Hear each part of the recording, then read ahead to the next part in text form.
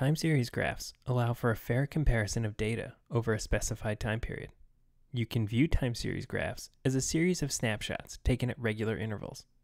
They are an ideal tool for dashboards as they help end users quickly identify a trend, spot an outlier in a cyclical pattern, or analyze how key metrics have changed over time. Here are a few examples of metrics we monitor with time series graphs here at LogRocket. Time for a page to load. We utilize this graph to see when there are spikes in page load times, and if there are, we can drill down and investigate why the spike in load time occurred. High memory usage. We like to keep the memory usage of LogRocket consistent. Spikes shouldn't happen, and we like to look into them. Finally, browser crash frequency. No one likes browser crashes. If we see a trend or a spike, we want to dig into the detail to resolve it. Let's create a time series metric of our own. Another metric we like to track at LogRocket is 500 errors. As with all LogRocket metrics, the best way to begin is to ask a question. In this case, I would like to know the answer to how many 500 errors have occurred in my application over time? Since the question includes over time, we know that time series is the ideal metric to answer this question. To begin, make sure you're on the Metrics tab. Then select Add Chart.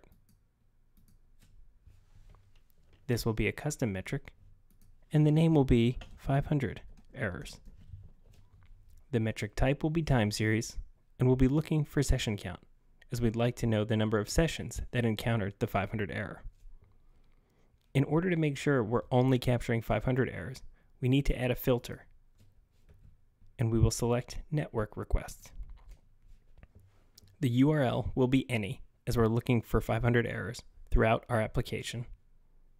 The status code will be equal to 500, and while we can customize this further, we don't need to, as we're looking for an error that occurred throughout the application. As with all LogRocket metrics, you can add an alert where necessary. Click this link to learn how to add an alert. Now, Save chart.